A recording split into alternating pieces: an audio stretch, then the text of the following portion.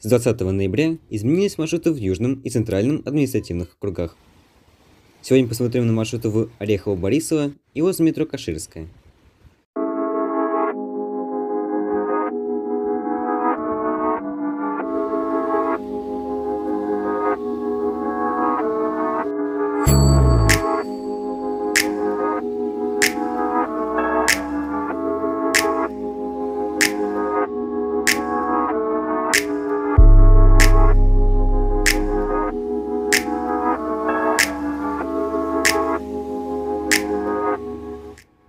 Начнем с основной идеи.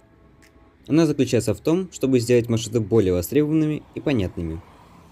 Вследствие чего на них будут более вместительные автобусы и меньше интервалы. Номера маршрутов. М – магистральные маршруты. Идут по прямой трассе и останавливаются на всех остановках. Экспрессы обозначаются буквой Е и останавливаются не на всех остановках.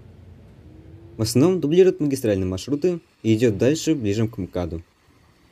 Районы маршрута получили новые номера. Теперь для каждого сектора свой номер.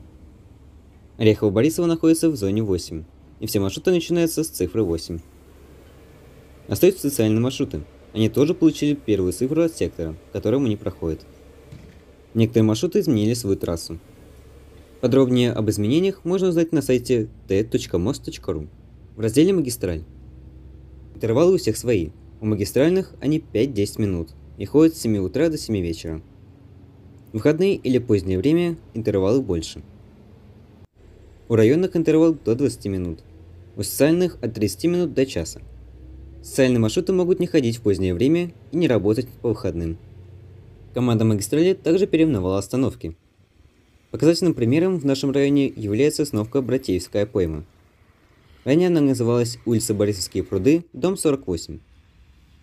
Однако от подобной конструкции не отказываются. Если нет других, более коротких названий, остановка будет называться по улице и номеру дома. Для единых пересадок будут единые названия. Это нужно для освобождения места на схемах и для построения более удобных маршрутов. Также нет повторяющихся названий и названий по уже несуществующим объектам. Всего переименовали 122 остановки. Перечень некоторых из них можно увидеть на экране. Во время проектирования были сделаны более удобные пересадки между автобусами. Совместно с регулярным и предсказуемым движением это делает наземный транспорт еще привлекательнее. Важно не забывать про бесплатные пересадки. С 1 сентября для привязавших свою тройку к приложению метро Москвы они бесплатны в течение 90 минут. Для остальных 23 рубля в течение тех же 90 минут. Наносят новые выделенные полосы и перенастраивают стафоры. Где это нужно и возможно, убрали карманы. Это дает возможность автобусам не стоять в пробках и меньше ждать на светофорах, так как их постраивают под расписание. И что самое интересное, только 11% автомобилистов против выделенных полос. Московский транспорт поработал над информированием. Теперь на каждой остановке есть перечень маршрутов с основными остановками на них. Появился блок рекомендуемых маршрутов с самыми важными маршрутами. Остановки метро Каширская – это вот эти маршруты. Маскот какой-то у них очень странный. Он рассказывает про главные маршруты района. Орехово-Борисово – это М77 и социальный С848. Хотелось бы хвалить, но не получится. На остановках нету волонтеров, они, хотя они были заявлены. И, возможно, там в центре работают. Но лучше бы они на окраину поехали. Также были небольшие отставания в где-то на 1-2 минуты. Но все-таки магистральный маршрут, это критично, мне кажется. И стафоры настроены не для того, чтобы автобусы это расписание, а скорее наоборот. Хочу заметить, э, эта остановка не по требованию, поэтому здесь волонтеры должны были быть. Бедные бабушки, им приходится переспрашивать, какой автобус куда едет. Это огромный минус. Теперь перейдем к результатам полностью пустые автобусы и полное непонимание, что куда идет. Где хваленные волонтеры? Ни на одной остановке не было даже одного человека.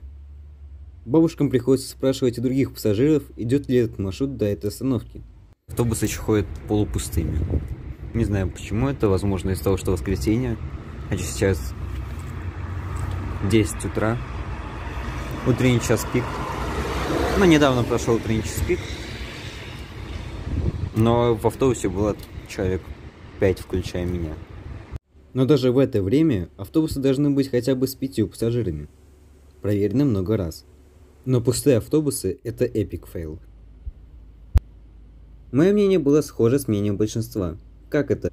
Столько лет пользовались сим, а как сейчас? Пересадка? Но сейчас я отношусь к изменениям с положительной стороны.